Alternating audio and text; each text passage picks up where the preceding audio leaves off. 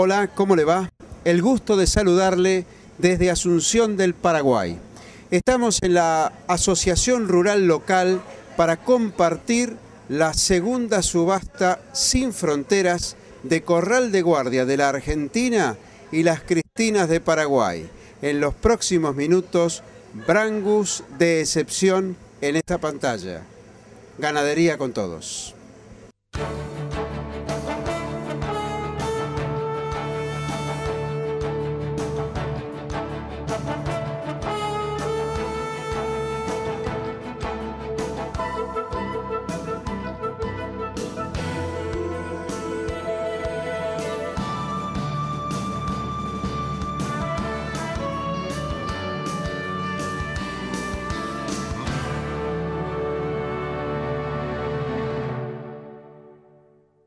Muy feliz de tenerlo acá en Paraguay a los medios que ustedes representan. Estamos esperando ya, dentro de unos ratos se inicia el remate, como usted lo dijo, el segundo remate sin fronteras, que lo hacemos con cabañas este, Corral de Guardia de Argentina y esta es la cabaña Las Cristinas de Paraguay. Cuénteme un poquito, Sergio, acerca de las Cristinas. A Corral de Guardia la conocemos y mucho. ¿Cómo se compone? ¿Cuántos vientres en producción?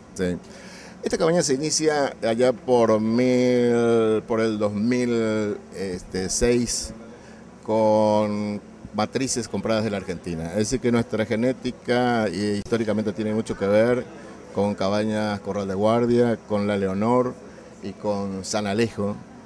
Eh, esa es la base de nuestras matrices y a partir de ahí hemos ingresado toros, este, a través de embriones y de semen traídos de los Estados Unidos, también de la Argentina, eh, toros este, comprobados en su alta capacidad genética. Así se inicia nuestra cabaña y hemos participado en innumerables este, eh, exposiciones internacionales acá de Paraguay.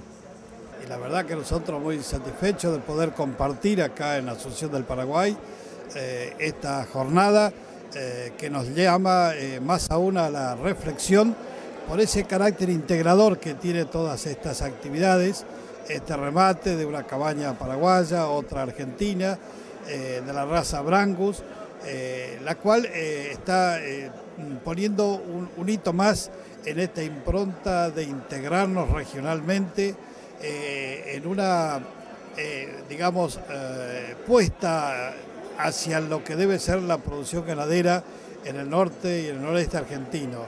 Eh, creemos nosotros que el trabajo mancomunado que hemos hecho entre las cabañas formoseñas, un trabajo que viene haciéndose hace 8 o 10 años, y toda esta impronta, digamos, eh, regional, eh, nos está dando ese panorama, una visión de que la ganadería se ha instalado definitivamente en el norte, ya sea por el corrimiento de la frontera agrícola, pero también por la aptitud y lo que es esta zona subtropical. Quizás zonas áridas, zonas difíciles de trabajar en la ganadería o de trabajar en otras actividades, pero que están eh, hoy muy empeñadas en esta eh, conjunción de esfuerzos y a su vez en eh, procurar tener una genética adecuada a la región. Todas las ferias auspiciadas o que solicitan el auspicio de la Asociación de Criadores de Brangus del Paraguay eh, comprometen a la misma a una revisión minuciosa por la parte técnica encargada de la supervisión y la admisión de los animales, como también a la comisión directiva a una presencia y apoyo permanente en dichas ferias. ¿Qué significa este encuentro, esta asociación entre dos cabañas, una paraguaya, otra argentina, en el marco de la América del Sur?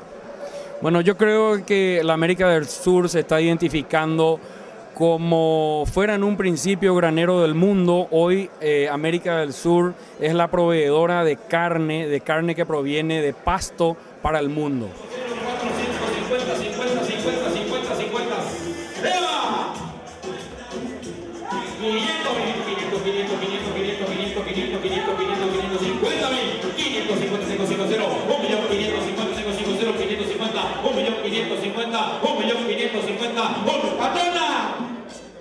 ¡600! Un millón seiscientos mil, tengo seis, cero, cero, seiscientos mil, seiscientos mil, tengo seiscientos, seiscientos, seiscientos, un millón seiscientos mil, seiscientos va seiscientos, seiscientos va seiscientos, en el fondo un millón seiscientos, se va. Se va.